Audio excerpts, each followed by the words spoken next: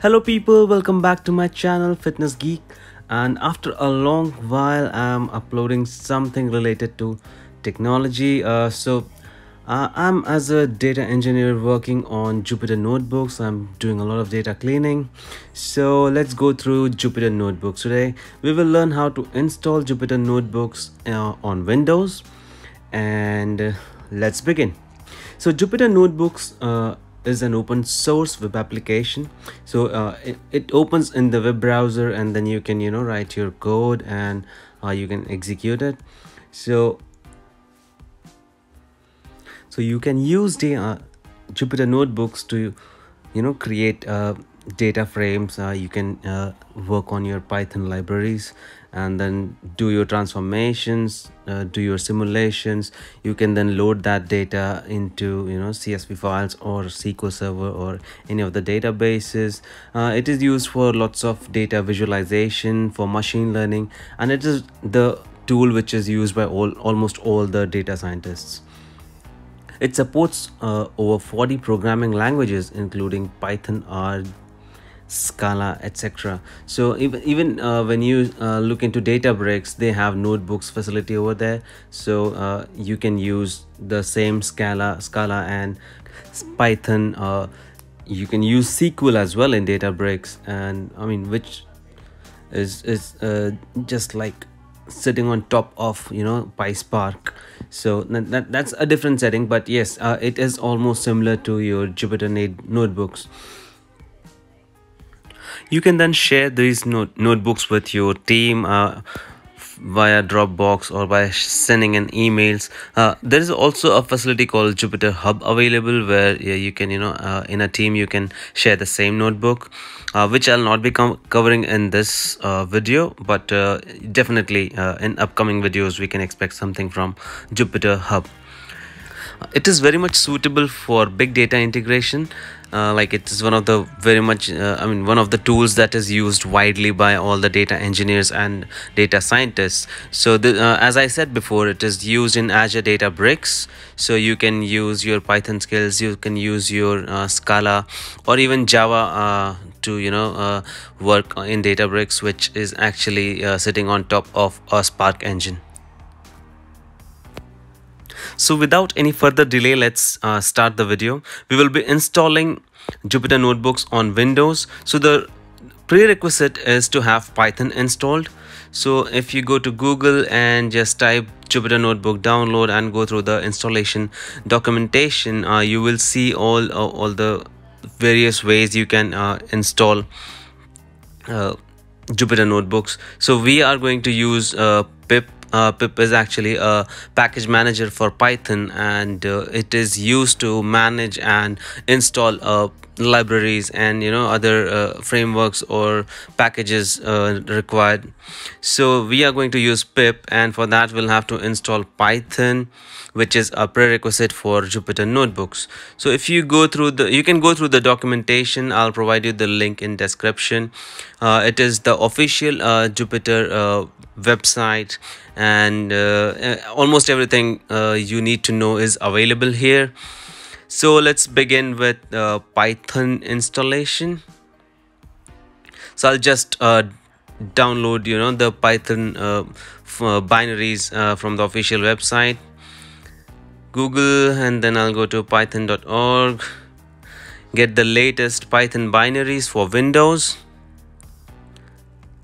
I'll, I'll download the uh, latest binaries and then I'll uh, go ahead with the installation. The installation is very easy. So you, I mean uh, you will uh, not uh, you should not be facing any difficulties. Uh, so it's it's more of a GUI based installation. So you download it and then open the binaries the setup file. Once you click on the setup file you will see a pop-up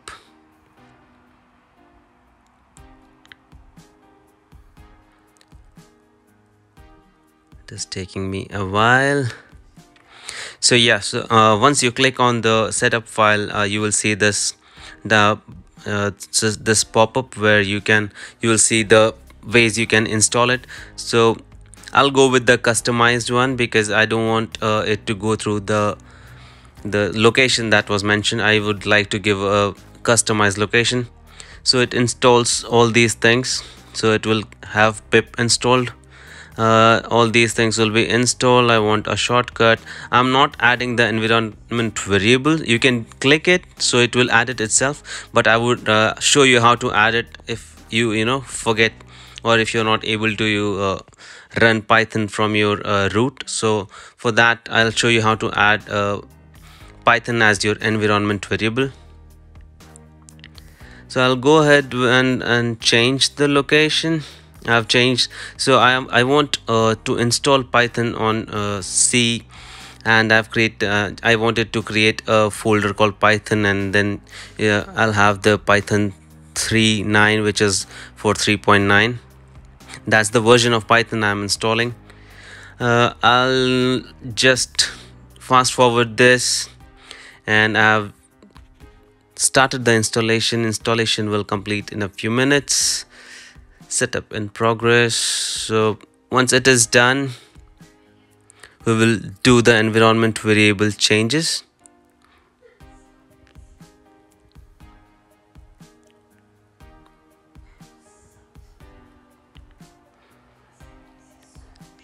So I have just skipped through the process. Uh, it, it takes around 5 to 10 minutes to install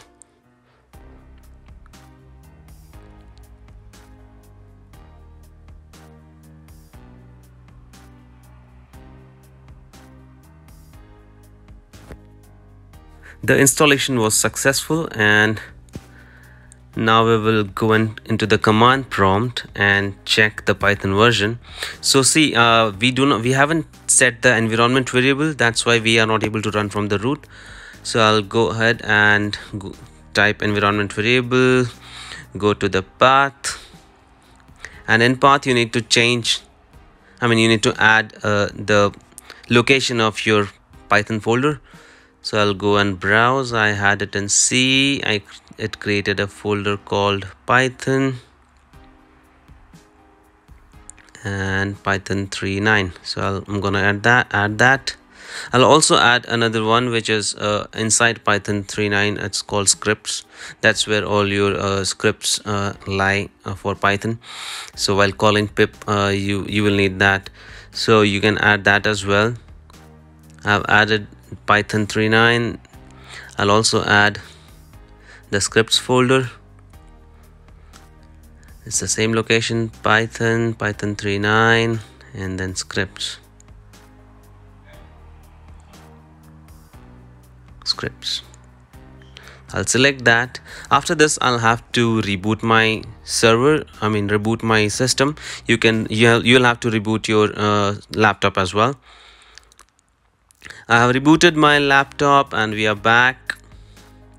So now I'll go and type Python version and I'll get the Python version as 3.9 now we'll go ahead and upgrade our pip. Pip is the package manager that I had uh, discussed before. So I'll I'll uh, see if, if it is upgraded as well. I mean if I'm having the latest version of pip. So I'll type pip install. Hyphen hyphen upgrade. Pip. So as you can see uh, I have got the latest one. So I don't need uh, so it did not go through the process. Otherwise uh, it will just upgrade your pip now if you go to the documentation uh, you will you will get the commands from there. We just want Jupyter notebook so we will go ahead and install notebook pip install notebook. That's the command to install uh, Jupyter notebook. So once you run that you uh, see if you can see it is it has run successfully. And uh, I will have my Jupyter notebook installed. So it is successful. So that's it. I mean uh, we have installed it and now we will see how to run it. If you go through the documentation uh, it says you just need to type Jupyter notebook and it should open the browser. So I'll go ahead and type Jupyter notebook. And once you run that command it will open your web browser. So it's a web application and once you run it it's it's like it kind of runs as a server loc uh, on your local host. So if uh, so that's your localhost uh, web page where it actually loads the entire Jupyter notebook application. I mean so this is an application where you can create multiple notebooks and share and you know they're isolated notebooks. You can do a lot of stuffs. Your data cleaning data uh, mapping data visualization everything from here.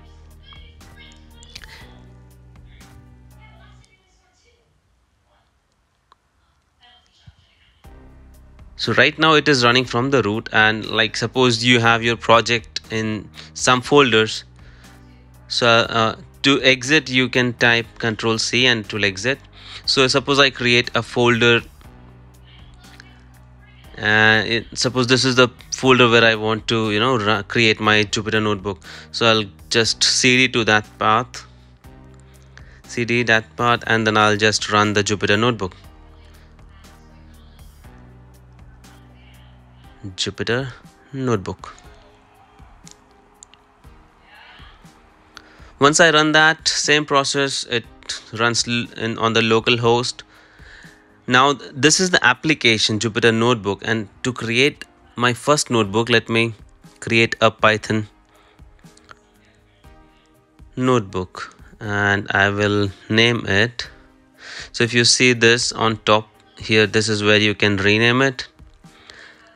I'll rename it as demo notebook once done uh, if you go to your folder where you created it you can see a file created. If you see this is the file. So this is a python uh, notebook and uh, you can literally do all your python coding here.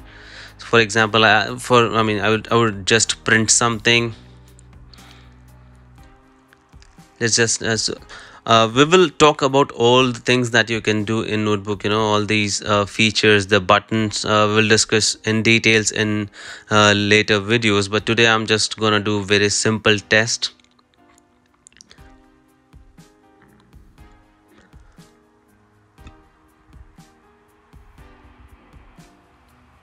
I'll just do a quick print print hello guys. Welcome back. So this is where you run it. You can uh, do shift enter or you can click on this button. So yeah. And and this drop down is actually for your code or your markdown uh, we will go through all, these things uh, uh, i mean in later videos. But for example if i want to just just write a heading kind of you know markdown thing. So i can write start from a hash and then do a markdown. And if i mark it as markdown and run that cell so this individual cell. So all these uh, the you know this a small area where you're writing your code is actually called a cell. And that's that's what you you run run the cell or you execute the cell.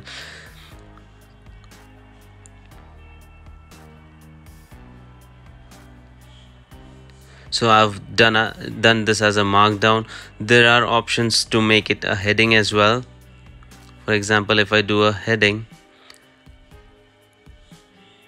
yeah this is this is fine. This is just a warning. Uh, all right. I'll click OK. Or cancel. Yeah. So this is just a demo.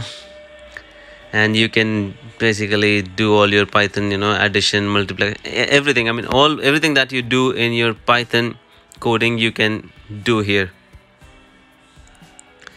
Late uh, uh, later we will also do all our data cleaning here we'll use pandas we will use numpy we'll, you can use uh, plotly for your plotting. Uh, we will do all those things later but uh, for today we will just we have just you know installed a Jupyter notebook on our Windows system. And we have gone through the prerequisites. And this is how you uh, install your uh, Jupyter notebook on a Windows 10 system so thank you guys. Uh, keep supporting and uh, stay tuned for my upcoming videos uh, revolving around Jupyter notebook and you know all the things that I do at my workplace. I'll be uh, making small short videos on that and thank you for the support. Keep watching